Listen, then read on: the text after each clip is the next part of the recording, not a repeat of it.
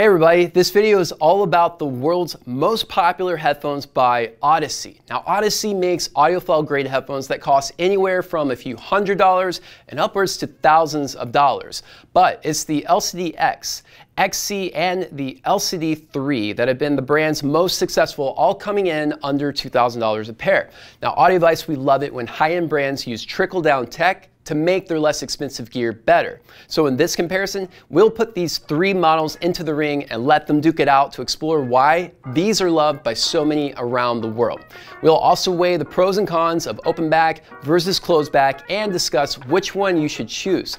So if you've been on the fence about one of these best sellers, you'll have everything needed to make your decision easier. Now let's get into it.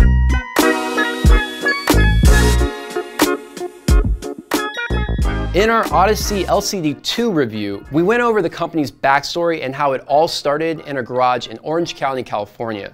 Now the LCD2 is the headphone that started it all, and this also inspired the higher end models in this lineup. So there are a few key technologies that are directly inherited from the LCD2. For one, when it comes to planar magnetic tech, the name of the game is in making the diaphragm as thin as possible. Essentially, the lighter and stronger the diaphragm, the faster it can move, pushing and pulling the air around to create sound. The LCD2 was the first to implement a very large 106 millimeter ultra thin film that produces accurate deep sounding bass with near zero distortion. Essentially, this ultra thin diaphragm is less than two microns thin, thinner than a strand of human hair positioned between magnets. And this lightweightiness allows it to achieve true pistonic back and forth motion at extreme velocity. All of these high-end models inherit this tech. They all reproduce the full spectrum of music and beyond from 10 hertz to 50 kilohertz, which is both below and above human hearing.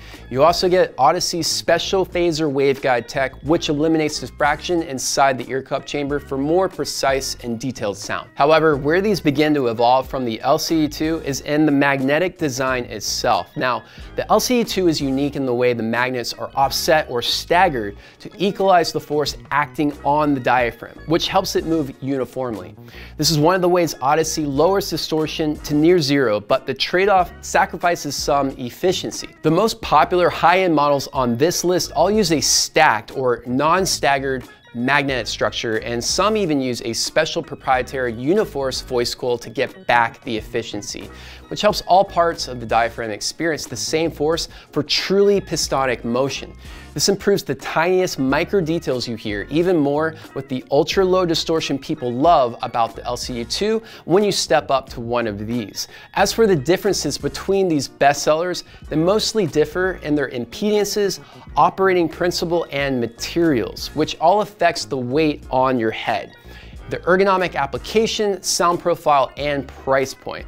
As bestsellers, they are some of the most comfortable on the market with thick, beefy ear pads and headbands with suspension straps to distribute the weight evenly, making the ear cups practically hug your head. This is one of the key reasons why these are the best-selling and most popular Audeze makes, but they do fall into two categories open back or closed back. So we're gonna quickly dive into each of these elements and compare the selection of materials, their best use cases, and their design benefits to help you decide which high-end model is right for you. One of the coolest things about Audeze headphones is their neutral sound profile. Whether you like listening critically or just like getting lost in the music, these can excel in either listening style. However, if you've been on the fence, we'll be sure to point out the ones best suited for your preferred listening application. We use a Chord Mojo 2, which is a pocketable DAC headphone amp with plenty of power to drive even the most power-hungry model on this list. Mojo 2 also has two headphone jacks and a very transparent sound perfect for A-B testing and revealing the full potential of these high-performance headphones. We listened to a lot of music genres, but the ones that stood out the most had more natural instrumentation like jazz, classical, rock, and funk. But if you're in any kind of electronic music production like trance or EDM, you'll definitely appreciate the deep resolute 10 hertz bass all of these produce. Starting with the LCD-X open back. Overall, I can hear a very resolute separation of details with a spacious soundstage that let me hear the music more like the artist intended it. And this is why I think the LCD-X is really useful for listening more critically. From top to bottom, these are extremely linear. You might expect a planar driver to have a top end emphasis, but not so with these. The top end does extend out way beyond the range of human hearing, but is just super sweet in its presentation with vocals that sounded very natural in the mix. When I heard a deep bass instrument, it was full, rich, and it reached incredibly low. The ear cups are constructed with lightweight aluminum, which makes this one the lightest and most comfortable of the three. Even after four hours of constant listening, I never felt any sense of fatigue, and this makes sense being that it's built by hand for use in professional studios where mastering engineers need to listen critically with luxury comfort all day.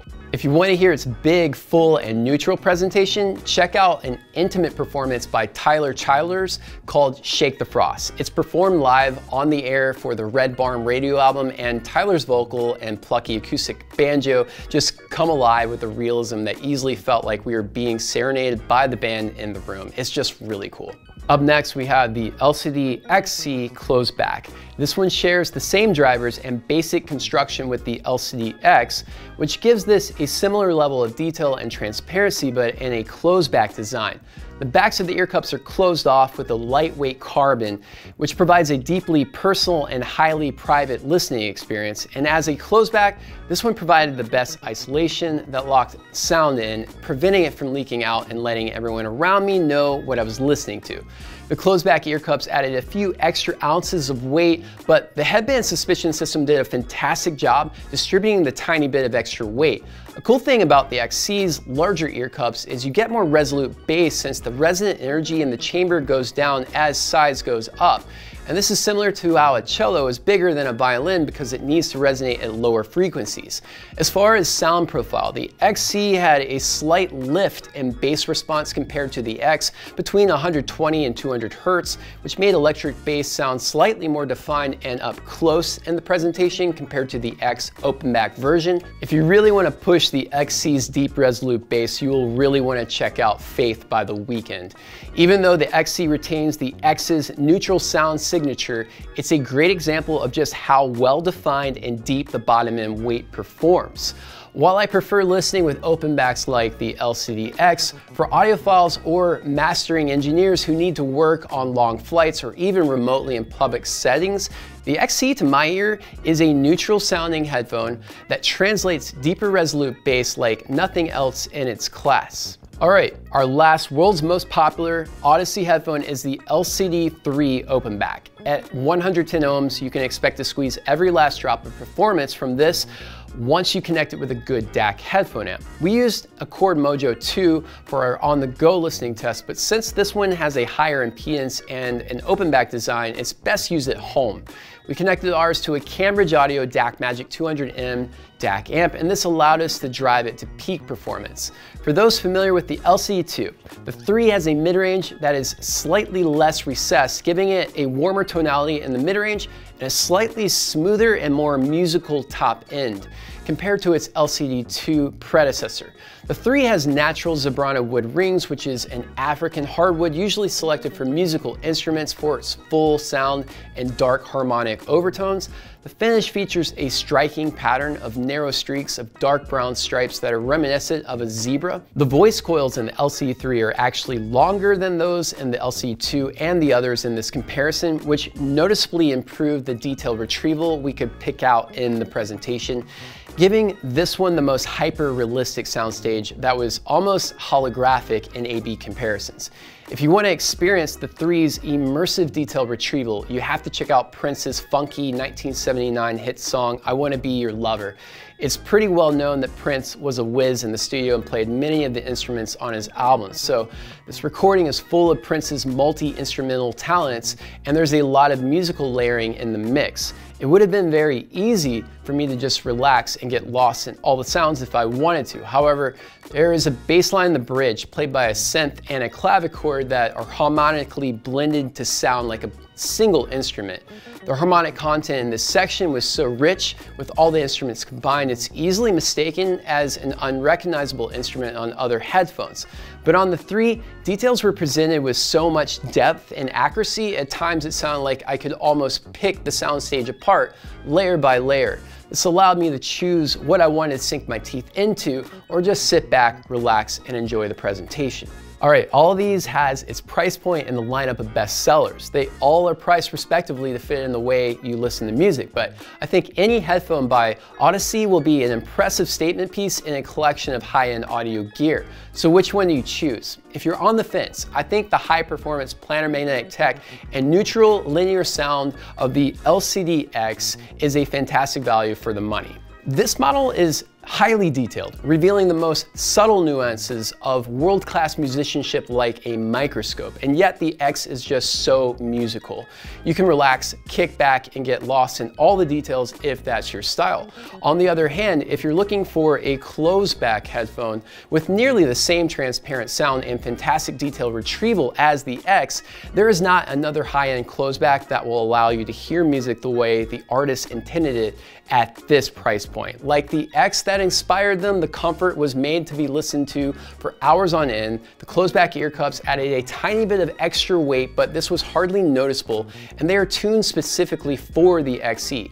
To my ears, the XC performed just slightly better on bass heavy music with deep bass that was more upfront and personal in the soundstage. For the money, I think the XC offers something really special most people have never experienced in a closed back for this price. Finally, anyone who listens to detail-oriented music that's organic and natural we give the LCD3 Openback a solid thumbs up for the luxury high-end music lover. It suited almost any style of music, but the 3's true potential does come alive when paired with a good headphone amp at home. When considering the price points of Audeze's most expensive luxury models like their flagship LCD5, I think the wide open soundstage and holographic realism is impressive. If you are a casual listener who wants to get immersed in your music and you prefer subtle dynamics that draw you in deeper, then with a good DAC headphone amp, the 3 delivered powerful bass, a clear smooth top end, and accurate warm sounding mid-range in a luxurious and well thought out design. I really liked it. All right, that concludes our comparison on the world's most popular Audeze headphones. Thanks for watching. If you've enjoyed this, be sure to give it a like and also check out the playlist section on our YouTube channel to easily find all the content you're looking for. If you have any questions about the headphones in this lineup, check out our other individual reviews where we deep dive into each one. Links to those video reviews are in the description. You can also give us a call, chat with one of our experts at audioadvice.com, or just stop into one of our award-winning showrooms. We'll be happy to help you out and find the right Audeze headphone for you. We'll see you next time.